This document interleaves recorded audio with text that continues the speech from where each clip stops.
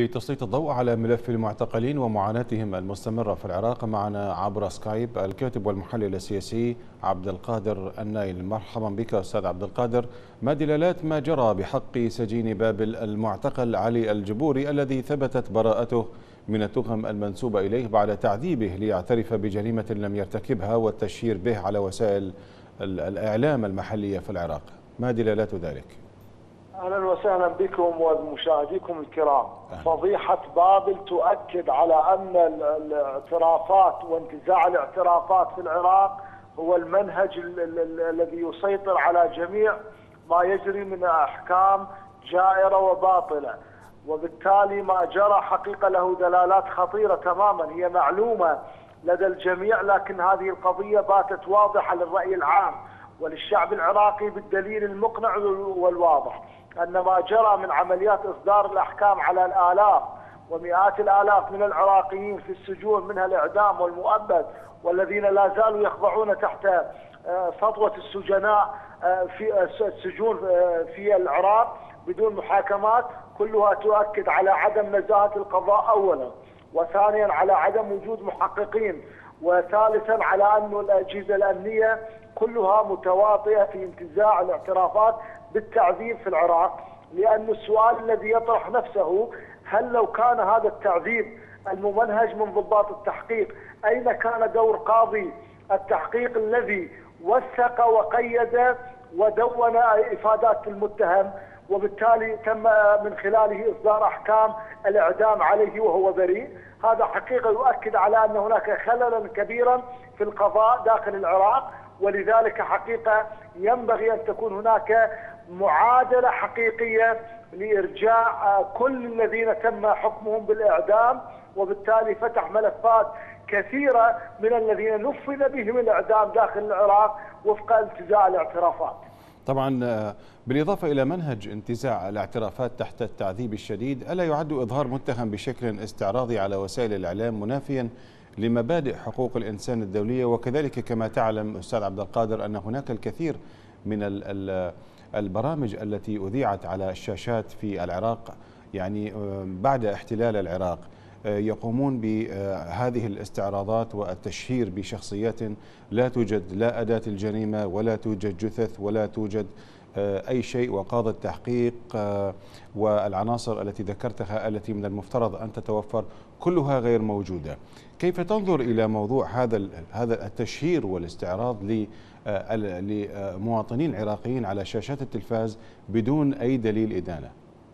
هذه الجريمة الثانية التي ترتكب في حق العراقيين وبالتالي يؤكد على أن السلطات الحكومية تبحث عن تشهير بحق عراقيين أبرياء لأنه ما مضى حقيقة هو بنفس الإطار من خلال عرض المتهمين وإلباسهم ملابس صفراء وأخرى حمراء وبالتالي عرض تحت التعذيب بشكل واضح تماما عرض اعترافاتهم على العالم دون أن يكون هناك أي أدلة مقترنة وبالتالي ما فضيحة سوق تفجير سوق الوحيلات الذين تم عرض اعترافاتهم مؤخرا لا دليل آخر على هذه القضية.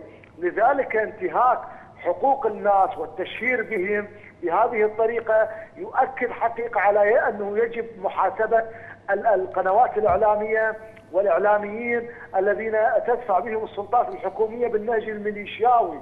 وقد رأيتم في جميع هذه الاعترافات ومنها فضيحة بابل المتهم فيها وهو البريء كيف يتم أو كيف يلعب دور الإعلام الحكومي أنه هو القاضي وهو الذي يخضع الشخص العراقي والمتهم إلى عمليات الابتزاز الإعلامي وعمليات التحقيق كأنه هو الذي يصدر القرارات.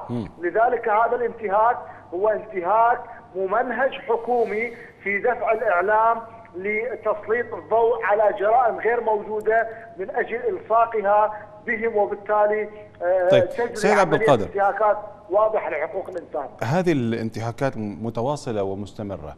ألا يجدر بالسلطات القضائية في العراق إعادة النظر في قضايا عشرات الآلاف من المعتقلين في السجون بعد فضيحة سجين بابل البريء أم أن هذا الأمر سيستمر؟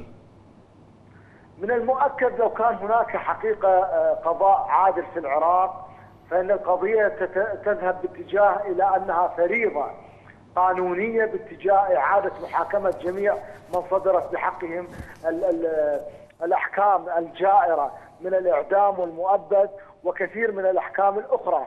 لأنه حقيقة إذا كان القضاة أو مجلس القضاء يريد أن يبرئ نفسه باعتبار أن المتهم هي مجموعة أوراق تعرض عليه ومن تزعه من المحقق تحت التعذيب يتم الحكم عليه. وطبعا هذا العذر آه، لا يمكن قبوله لأن هناك مرحلة مهمة في مراحل القضاء وهو التدوين تدوين الإفادة المتهم قبل رفعه إلى محكمة الجنايات لإصدار الأحكام. قاضي التحقيق هو المسؤول الأول عن عن عن سؤال المتهم وفحصه اذا ما تعرض إلى التعذيب قبل تدوين أقواله. وبالتالي كثير من الشهادات وثقناها لمتهمين يقولون نذهب إلى قاضي التحقيق ونقول له أن الاعترافات التي أمامك هي اعترافات مبنية على الانتزاع تحت التعذيب وأننا لن نفعل كل ما آه، جيء بهذه الاعترافات.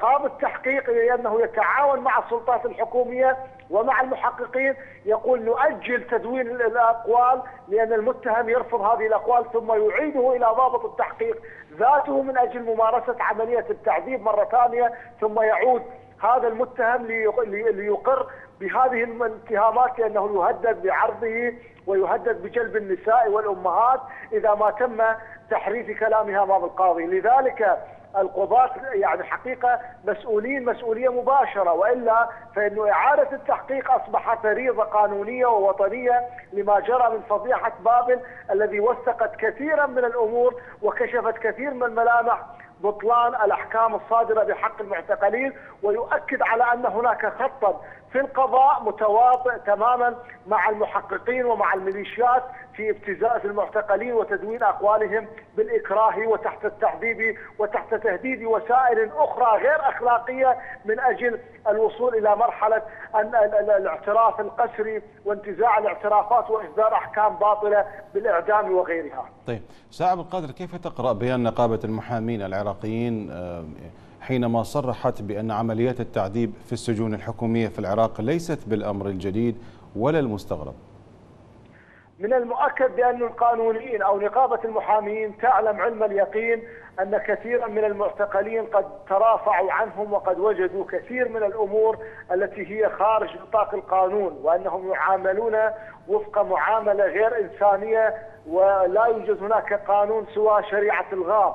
وبالتالي آه، كثير من القضاة غير متعاونين مع المحامين بحماية حقوق المتهم لأن المتهم بريء حتى تثبت إدانته وبالتالي هذا الاعتقالات مبنية منذ عام 2003 يعني اليوم عندما نقول أن هل الشعب العراقي مستغرب من فضيحة بابل هي فقط لأنها كشفت آه، بطريقة واضحة أمام الرأي العام وإلا كلنا يعلم تماما والشعب العراقي يعلم وكثير كثير من المختصين أن الاعترافات وانتزاع الاعترافات والأحكام الجائرة هي السمة السائدة منذ 2003 إلى يومنا هذا، نعم. لذلك حقيقة ينبغي أن تكون هناك وقفة جادة الآن لإنصاف المعتقلين ولإبطال شرعنة المخالفات القانونية التي يرتكبها بعض القضاة ويرتكبها المحققون الذين ينتمون إلى أحزاب سياسية وميليشيات يهينون كرامة المواطن العراقي وبالتالي بعد التعذيب تصدر أحكام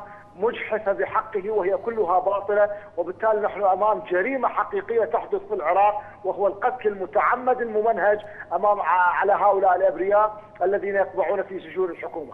نعم. الكاتب والمحلل السياسي الأستاذ عبد القادر النايل شكرا جزيلا لك.